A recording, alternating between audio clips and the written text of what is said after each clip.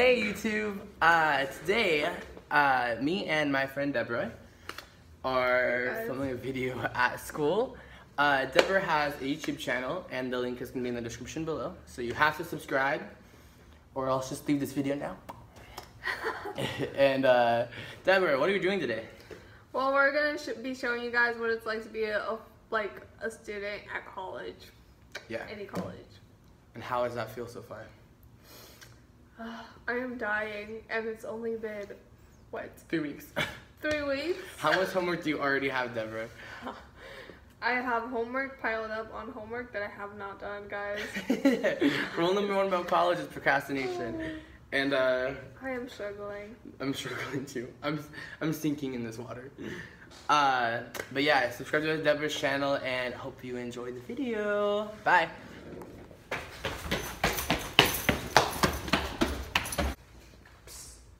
Hey, um, I missed class yesterday. Do you have the notes? Yeah. Uh, can I, take, can I take a picture of them?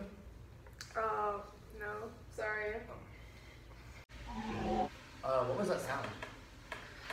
Oh, that was my stomach. You haven't eaten today? No, I don't have time. I have too much classes. Should bring a snack or something. Don't even have time for that either. No time for snack. Okay, class, we're going to be having five hour homework. That will be about the lectures, the notes, and you'll need to be looking into the tests that will be coming up. Um, professor? Yes? Uh, some of us have full-time jobs, like right after class. How do you expect us to do homework all day? Well, you could either focus on school or you could do your job and drop out. Well, the job out. they Gotta pay for class. So, class, we're going to be teaching about the human mind. And you need to be awake for this. Science. I'm like the people who come. Uh, what are you doing? Uh, I'm getting water for a cup of noodles. I don't have my my own, so This is your lunch today? yep, I'm using the water fountain. yep.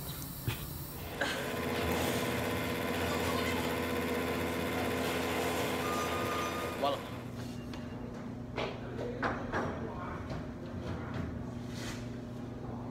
Oh, this is gross. Look at this.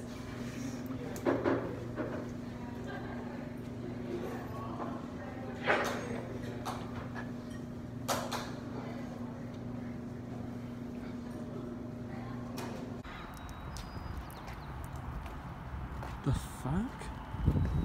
Uh, Deborah. What? Noodles everywhere. Noodles in my hair.